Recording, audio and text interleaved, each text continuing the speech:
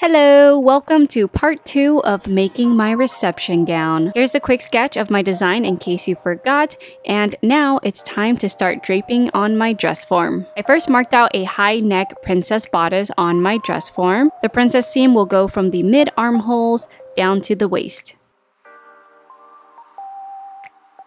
After preparing my muslin, I can start draping the center front bodice. It's pretty straightforward. Secure the center front line and smooth out the fabric and pin it in place.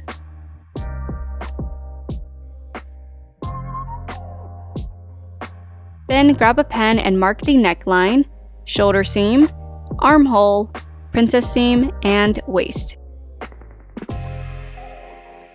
Using another piece of muslin, pin it to the side front bodice, removing the pins and lifting the center front bodice piece.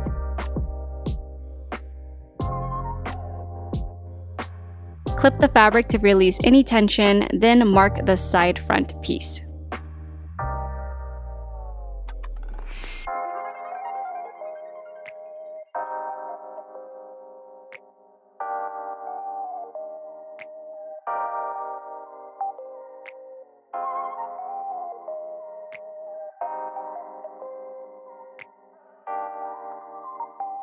For the back bodice piece, I pin the straight edge of my muslin along the back neckline and then smooth and pin the rest down.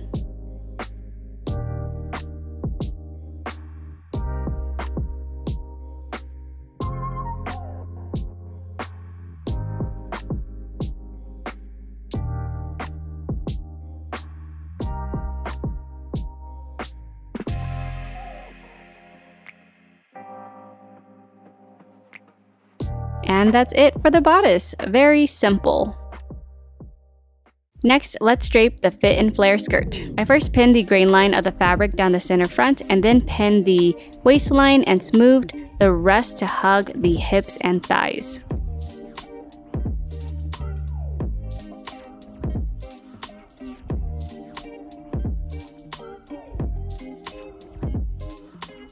From the mid thighs, I began to flare out the side seam to my desired fullness.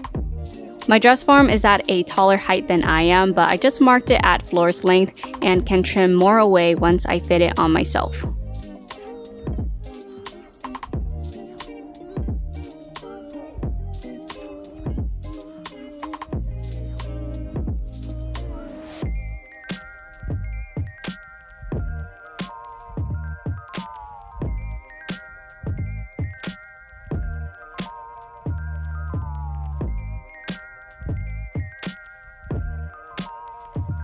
For the back skirt, I gave myself extra fabric on the left side for the train. Again, I pinned the center back and waist, then smoothed out the rest to hug the hips and thighs.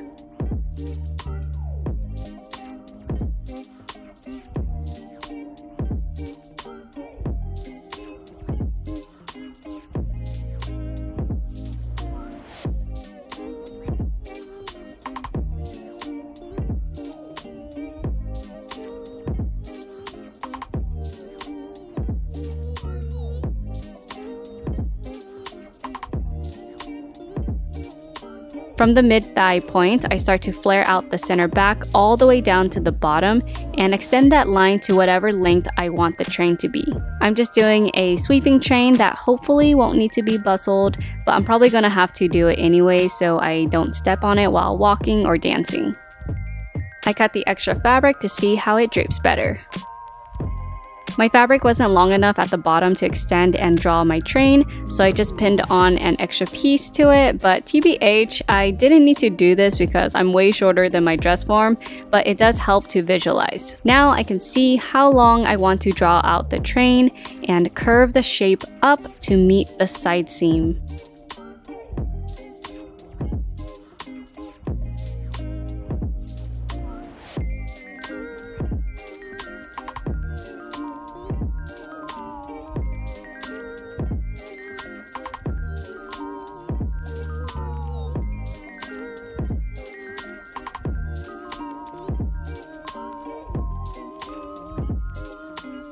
me clapping because it's looking so good.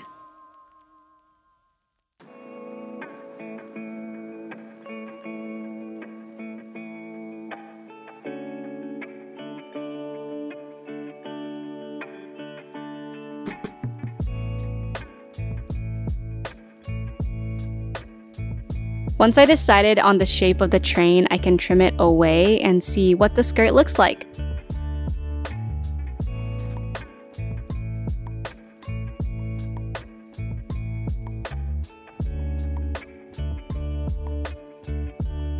Next, I trued up my markings on the muslin and added seam allowances so I can quickly sew it together to test the fit on myself.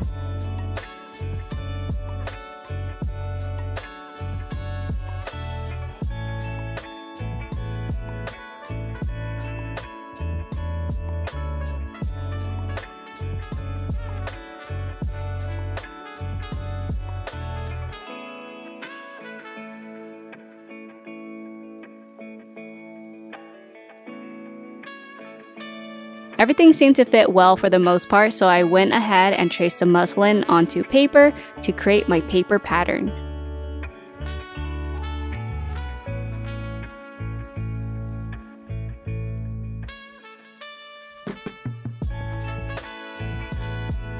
And here are all my pieces. I'm going to be making a full-size muslin sample to really see what the dress looks like and make sure it fits.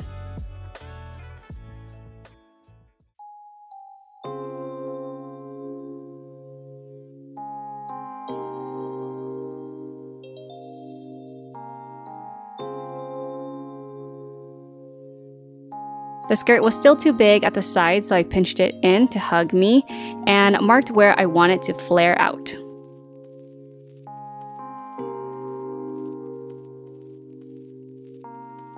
For the back of the dress, I asked Kathy to help fit me. I'm honestly so grateful to have her as my sewing mom.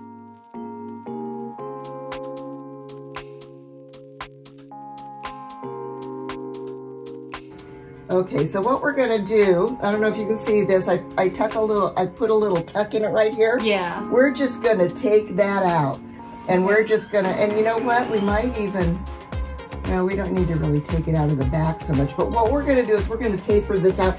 You don't need to put it in anywhere else. Okay. We're just gonna make sure it's gone so you don't have that gaposis going on there in the armhole. Yeah. Okay, so now, see it's gonna lay really flat there. Okay. okay? And this is gonna lay really flat. See if we need to pull, we might wanna pull just a tad bit out right here too so it doesn't have that little gap right there. After she helped fit me, I made the changes to my bodice and finalized it, and now we're ready to cut the actual fabric.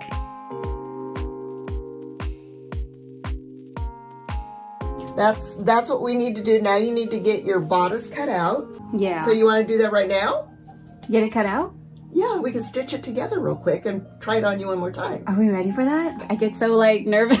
Oh yeah, let's okay, okay, yes. with both feet. Yes, let's do it then. Kathy totally jump started my dressmaking process. Here I was thinking I would go home to mentally prepare myself before cutting the actual fabric, but she just cut all the BS and got me cutting and sewing the bodice already. You'll have to stay tuned for part three for the really fun stuff.